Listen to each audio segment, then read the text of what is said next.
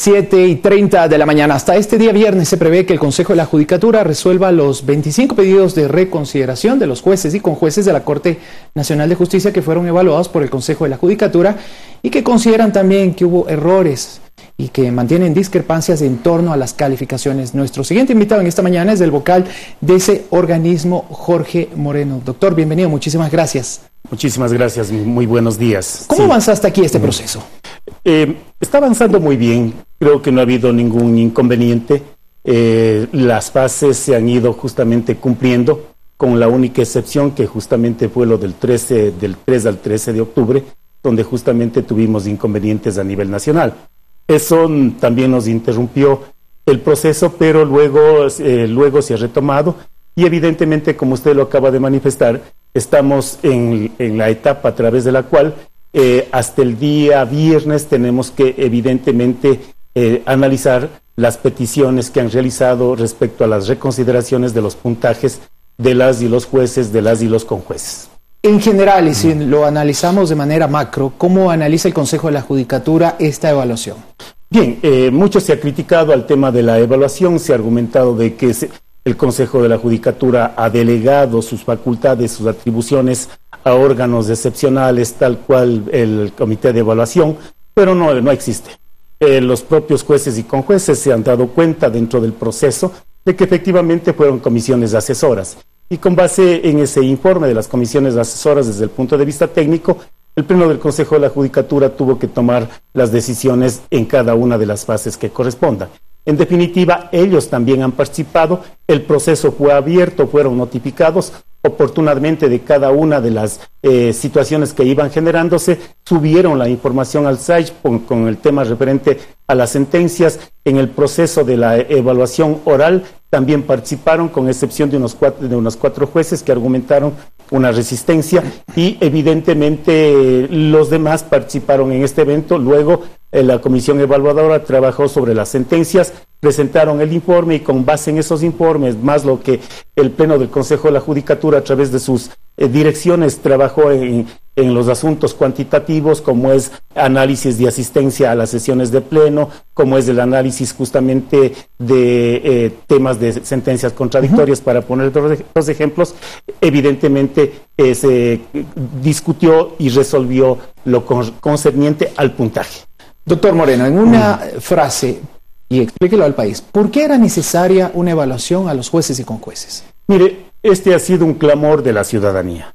Y ese clamor de la ciudadanía primero lo recogió el Consejo de Participación Transitorio, que justamente sugirió aquella situación, pero de manera especial porque está previsto en el marco de la Constitución y en el marco del Código Orgánico de la Función Judicial. Nuestro ordenamiento jurídico, y cuando digo nuestro ordenamiento jurídico, me refiero a la Constitución, leyes y reglamentos, expresamente prevé que todos somos responsables, que todos tenemos que ser evaluados y evidentemente no se exime ningún órgano de la función judicial. El Consejo de la Judicatura como poder de gobierno, administración, vigilancia y sanción, evidentemente tenía que entrar en esta fase de la evaluación integral a juezas, jueces con jueces de la Corte Nacional de Justicia y el próximo año también lo hará con los demás miembros judiciales a nivel nacional. Está claro para muchos que habrá un sacudón luego de esta evaluación en la función judicial.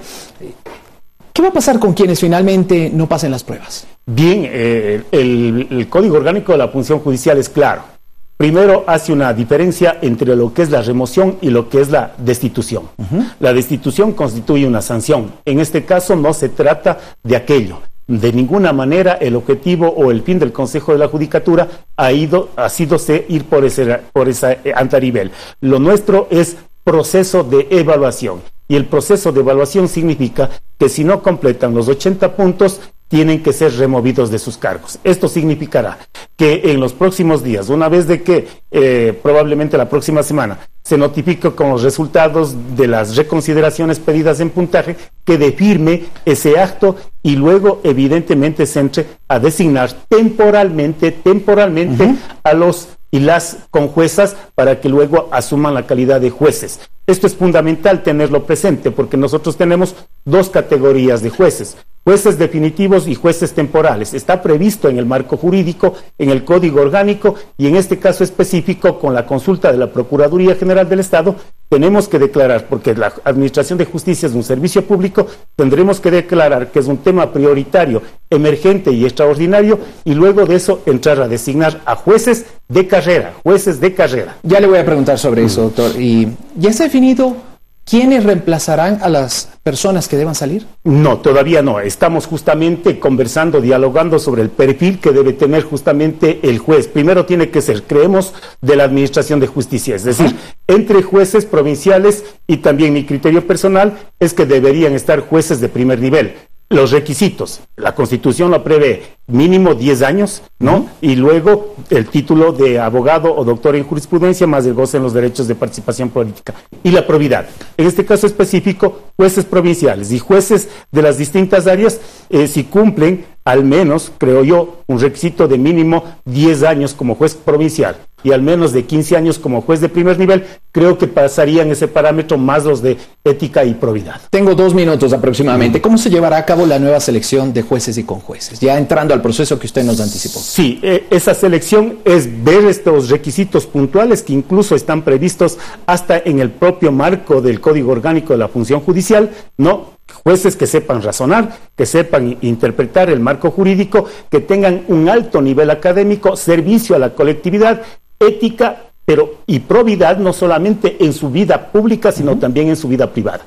Eso es fundamental. Con, esa, con esas bases, evidentemente buscaremos del entorno de la Administración de Justicia del Ecuador en calidad de jueces para ver a los mejores. ¿Cuáles son las novedades que a usted le ha llamado la atención y también al Consejo de la Judicatura eh, encontradas o halladas durante la evaluación de los jueces y con jueces?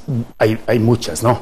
Muchas. ¿Cuáles destacaría? En el tema, cuando pasábamos la, primera fase, que fue la exposición oral de los jueces sobre una sentencia por ellos despedida, observé personalmente, ya no solamente me refiero a, los miembros de la comisión, observé personalmente que muchos y muchas jueces leían la exposición a través justamente de su laptop o de su computadora. No me pareció nada correcto esa situación. Eso para que más o menos tengan un ejemplo. También revisé el contenido de las sentencias que fueron analizadas por los comités y evidentemente lo que se ha dicho es real.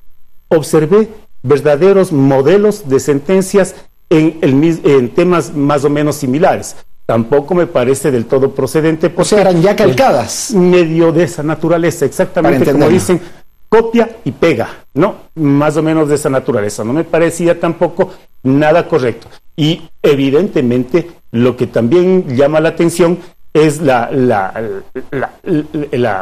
el conocimiento jurídico, el conocimiento jurídico que en muchos casos evidentemente me ha preocupado.